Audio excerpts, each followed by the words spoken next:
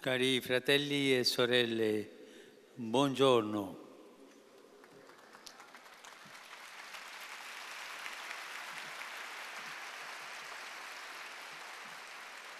Il Vangelo che abbiamo ascoltato ci presenta una figura che spicca per la sua fede e il suo coraggio. Si tratta della donna che Gesù ha guarito dalle sue perdite di sangue. Passando in mezzo alla folla, si avvicina alle spalle di Gesù per toccare il lembo del suo mantello. Diceva infatti da sé, se riuscirò anche solo a toccare il suo mantello, sarò salvata. Quanta fede, eh? Quanta fede aveva questa donna. Ragiona così perché è animata di tanta fede, di tanta speranza e con un tocco di furbizia realizza quanto ha nel cuore. Il desiderio di essere salvata da Gesù è tale da farla andare oltre le prescrizioni stabilite dalla legge di Mosè. Questa povera donna, infatti, da molti anni non è semplicemente malata, ma è ritenuta impura perché affetta da emorragie e perciò esclusa dalle liturgie, dalla vita coniugale, dai normali rapporti con il prossimo. L'Evangelista Marco aggiunge che aveva consultato molti medici, dando fondo ai suoi mezzi per pagarli e sopportando cure dolorose, ma era solo peggiorata. era una donna scartata dalla società. È importante considerare questa condizione di scartata per capire il suo stato di animo. Lei sente che Gesù può liberarla dalla malattia e dallo stato di emarginazione e di indignità in cui da anni si trova. In una parola, sa, senti che Gesù può salvarla. Questo caso fa riflettere su come la donna sia spesso percepita e rappresentata.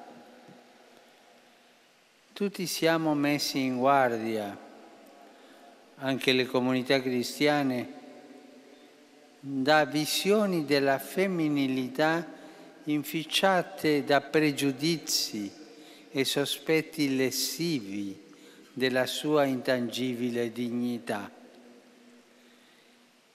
In tal senso sono proprio i Vangeli a ripristinare la verità e a ricondurre a un punto di vista liberatorio.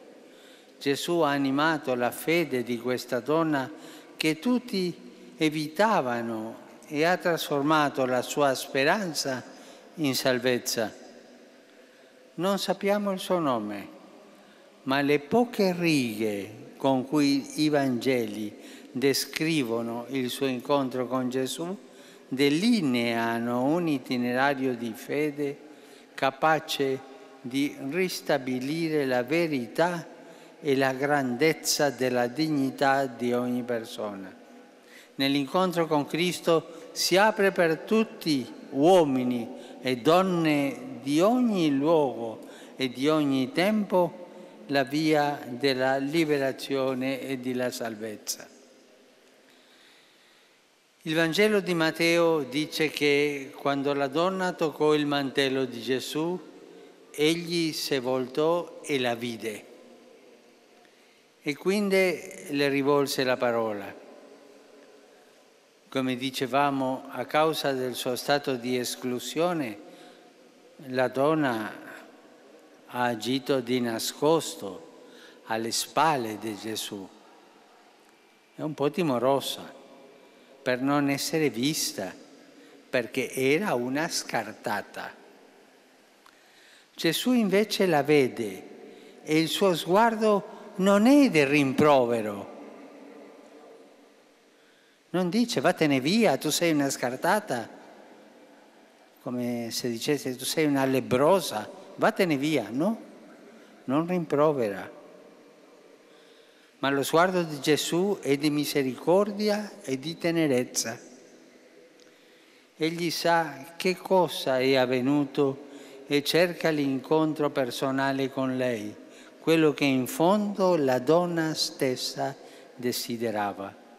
Questo significa che Gesù non solo la accoglie, ma la ritiene degna di tale incontro al punto di farle dono della sua parola e della sua attenzione.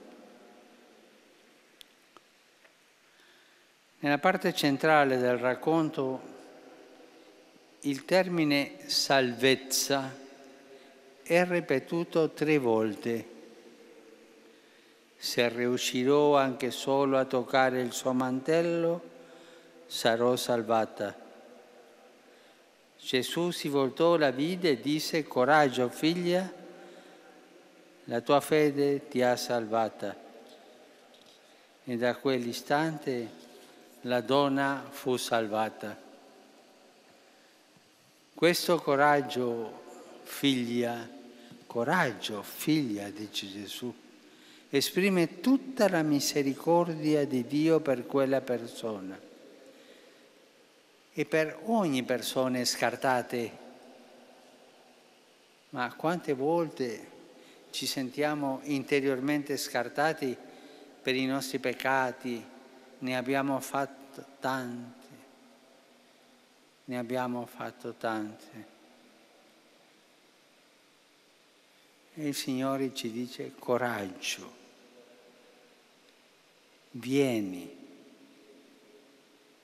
Per me tu non sei uno scartato, una scartata.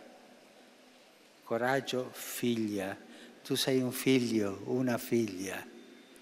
E questo è il momento della grazia, è il momento del perdono, è il momento della inclusione nella vita di Gesù, nella vita della Chiesa, è il momento della misericordia.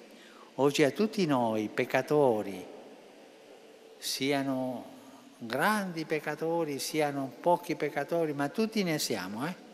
Tutti, il Signore ci dice coraggio, vieni non sii più scartato, non sii più scartata, io ti perdono, io ti abbraccio. Così è la misericordia di Dio. Dobbiamo avere coraggio e andare da Lui, chiedere perdono dei nostri peccati e andare avanti, con coraggio, come ha fatto questa donna. Poi la salvezza assume molteplici connotati. Anzitutto restituisce alla donna la salute, poi la libera dalle discriminazioni sociali e religiose. Inoltre realizza la speranza che lei portava nel cuore, annullando le sue paure e il suo sconforto. Infine la restituisce alla comunità liberandola dalla necessità di agire di nascosto. E quest'ultimo è importante. Uno scartato sempre agisce di nascosto qualcosa. O tutta la vita, pensiamo ai leprosi di quei tempi, ai senza, ai senza tetto di oggi. E ah, pensiamo ai peccatori, eh? a noi peccatori. Sempre facciamo qualcosa di nascosto, come abbiamo la necessità di fare di nascosto perché eh, ci vergogniamo di quello che siamo.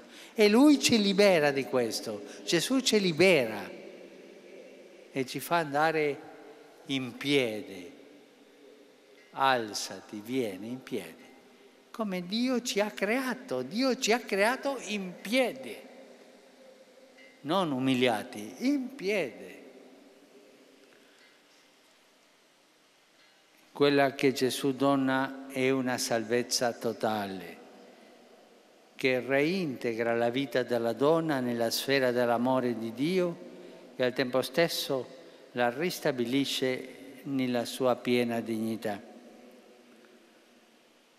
Insomma, non è il mantello che la donna ha toccato a darle la salvezza, ma la parola di Gesù accolta nella fede, capace di consolarla, guarirla e ristabilirla nella relazione con Dio e con il suo popolo. Gesù è l'unica fonte di benedizione da cui scaturisce la salvezza per tutti gli uomini e la fede è la disposizione fondamentale per accoglierla.